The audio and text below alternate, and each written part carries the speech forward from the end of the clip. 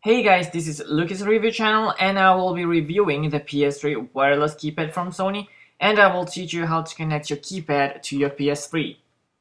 Unfortunately, the keypad doesn't come with a USB cable, so you will need to use your USB cable of your controller, provided that you got one from your PS3 purchase. Otherwise, you can use any type of Type A mini-B USB cable to pair your keypad to your PS3. To attach the keypad onto your PS3 controller, you will need to open the clamp and place it over your controller pad and press it down, and there you have it. It attaches very easily, and I like the fact that it sits firmly on the controller, that it doesn't wobble or jiggle if you move your controller around. The keypad has its own battery, so it doesn't take the power or the battery from your controller. To pair your keypad to the PS3, simply connect the keypad and the PS3 with a USB cable. So one end goes to your keypad, and the other end goes to your PS3 like so.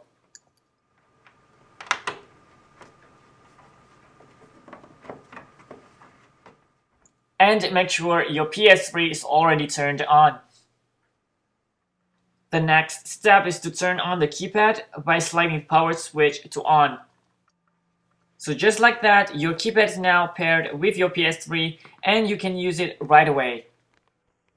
So let's put it to the test, shall we?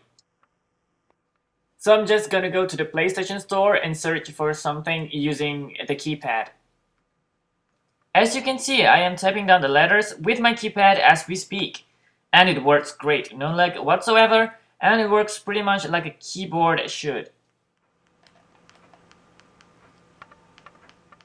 And if you're wondering why the LED lights keep flashing, don't worry. The status indicator, the caps lock, and the touchpad indicator will all flash while charging. They will stop flashing when the charging is complete. It also doesn't get in the way as you can easily access every buttons on your controller like you normally do. So don't worry about having it on your controller while playing your favorite game. When typing, I find myself having to move my hands up a bit to reach the farther up keys, although it doesn't really bother me that much. If you activated the touchpad mode, you can use your keypad like a mouse for cursor control in the browser. You can also find two shoulder buttons on the keypad. One is blue button and the other one is orange. One of many uses of the blue shoulder button is that you can use it to type in special characters marked with blue on your keypad. Just hold the blue button and the, and the key at the same time. The same thing goes to your orange shoulder button. To unattach your keypad from your controller is just as easy as attaching it. Go to the backside of your controller, open the clamp and just pull it up.